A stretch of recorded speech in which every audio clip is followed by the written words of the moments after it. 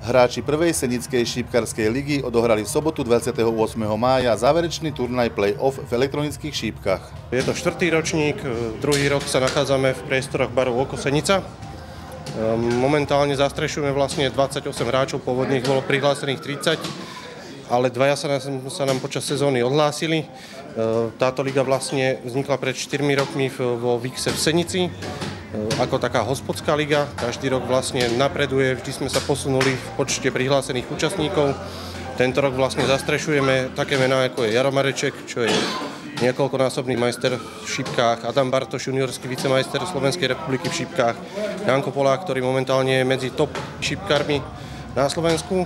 Po základnej časti bol na prvom mieste tabulky Jaroslav Mareček. Myslím si, že to je liga, ktorá dokáže vyprofilovať hráča, ktorého to baví, posunie ho to ďalej na, do iných úrovní, s tým, že už je to iba na jeho rozhodnutí, či postúpiť ďalej na slovenskú úroveň, alebo zostane hrať túto uzavretú ligu.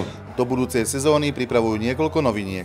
Pre budúci rok by sme chceli založiť aj druhú Senickú ligu, takže týmto chcem všetkých, kto by mal záujem sa prihlásiť, pozvať. Nájdete nás na Facebooku, kde je stránka založenia Senická šipkárska liga. Do budúcej sezóny sa plánujú aj nejaké súťaže družstiev.